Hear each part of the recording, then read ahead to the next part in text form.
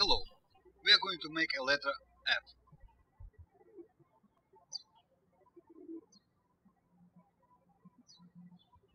Inflate a balloon leaving a 4 inch flat tail.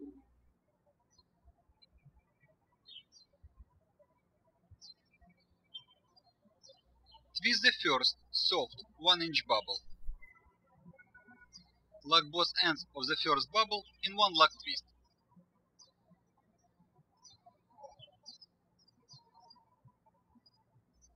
Twist the second 3 inch bubble.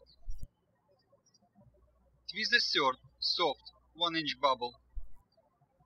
Lock both ends of the third bubble in one lock twist. Twist the fourth 3 inch bubble. Twist the fifth soft 1 inch bubble. Lock both ends of the fifth bubble in one lock twist. Twist the sixth 3 inch bubble. Twist the seventh soft 1 inch bubble. Lock both ends of the seventh bubble in one lock twist. Twist the eighth 1 inch bubble. You will pop the eighth bubble.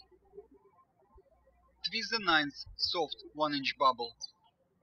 Lock both ends of the ninth bubble in one lock twist.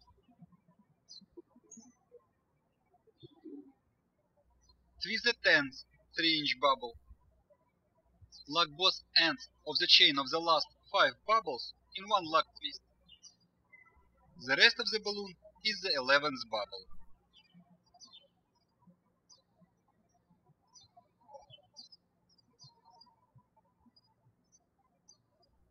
Pop the 8th bubble.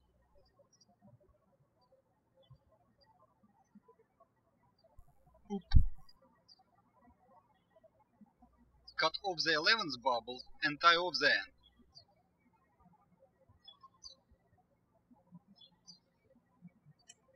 Fix all bubbles in proper positions. Congratulations, you have made the capital letter F. Choose appropriate color to insert to link the letter F with other letters. As you can see here, the light color uh, thread is visible on a dark background. After you made and connect all letters in words, you can attach the signs you made to a wall with a sticky tape. Have fun!